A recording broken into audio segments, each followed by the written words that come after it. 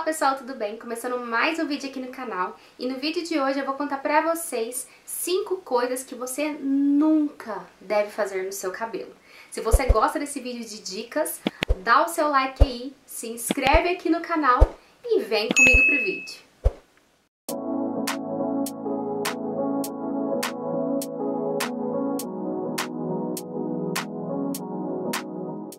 Se você chegou aqui hoje no canal e ainda não me conhece, o meu nome é Sara e eu mesma que cuido dos meus cabelos. As únicas coisas que eu não faço no meu cabelo é luzes progressiva e cortar.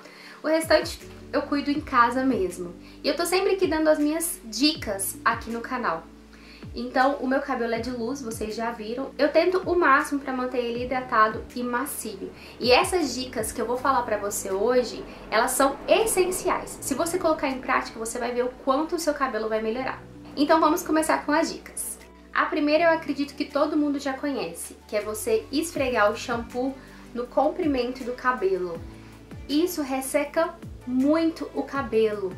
Então, o shampoo ele deve ser sempre concentrado aqui acima do cabelo, você massageando ele é, levemente o seu couro cabeludo, lavando aqui embaixo da nuca.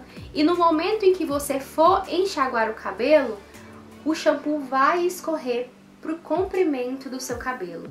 E nesse momento, ele já vai lavando as pontas do seu cabelo. Se você vier com o shampoo aqui e depois no comprimento e vier aqui, pior ainda, esfregando as pontas do cabelo, vai estar tá causando uma fricção nas pontas do seu cabelo.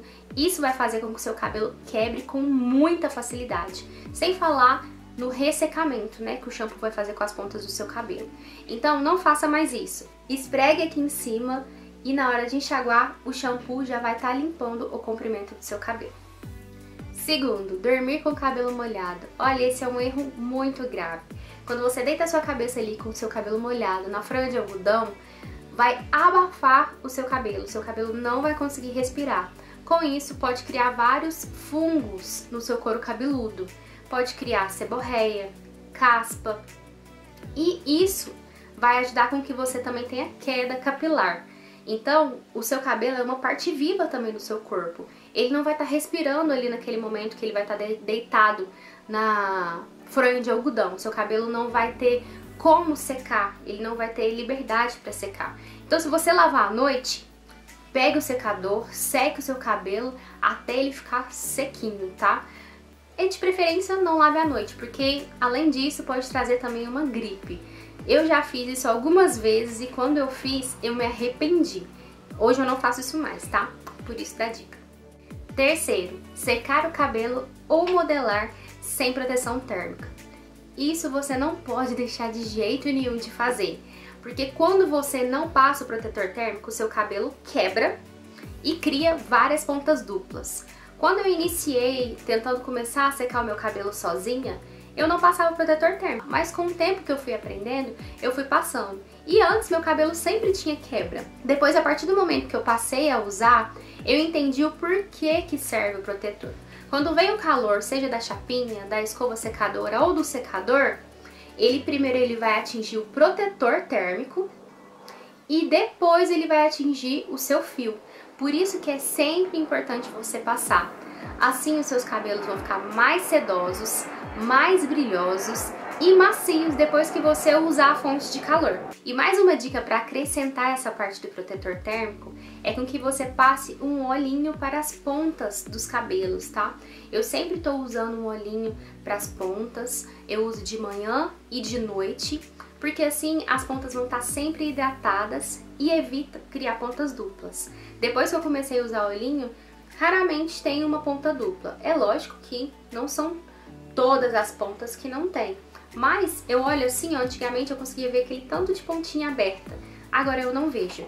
Então é muito importante que você tenha um olho para as pontas do seu cabelo também. Quarto, não retirar os produtos com enxágue do cabelo.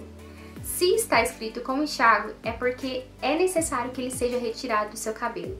Os únicos produtos que você não deve retirar são os produtos sem enxágue, são os protetores térmicos, creme para pentear, leave-in, todos esses podem ficar no seu cabelo.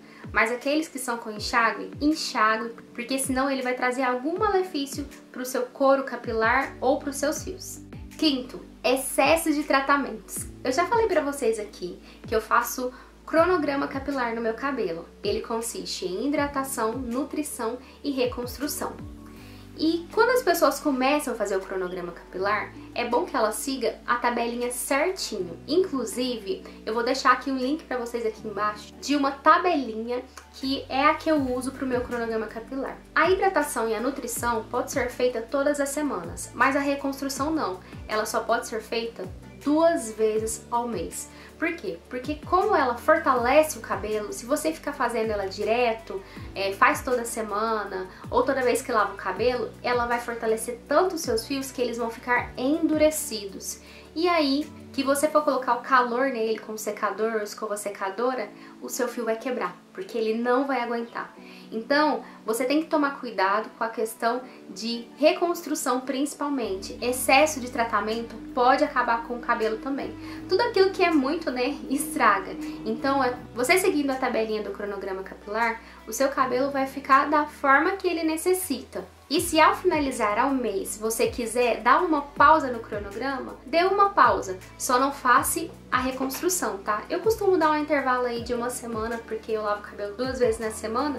Então eu termino o mês todo do meu cronograma. No momento em que eu vou começar o cronograma novamente, eu faço uma hidratação seguida de novo, é, mas não seguindo o cronograma, nunca a reconstrução. A reconstrução faça só duas vezes ao mês mesmo, tá?